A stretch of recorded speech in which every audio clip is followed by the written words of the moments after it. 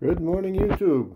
Well, yesterday you probably saw my short about uh, 3D printing and going to metal. Well, we had a power outage and I couldn't finish it, and it was dark, and uh, this is it in the light, and this is what we made.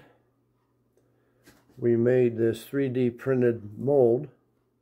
Uh, this is PLA, and we went to an aluminum coin.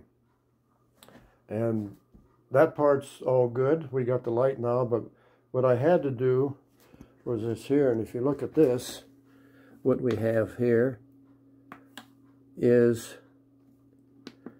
this is my uh, solar generators and I had to hook up to a solar generator and by the time I got that hooked up you know it, my PLA had hardened and when when it hardens like that then it makes little airs in it. And I don't know if you can see in this or not but you can see the crosshatch infill here on this. So it's it's not a bad uh, mold. It's if I was doing lost PLA it would probably be better. But anyhow uh, I just wanted to show you what it looks like in real life. And uh, this is the 3D it's a, a Creality Ender 3 uh, version 2 and it's a great machine. I've had I've used it a lot. I haven't used it for a couple years but it's it's working good.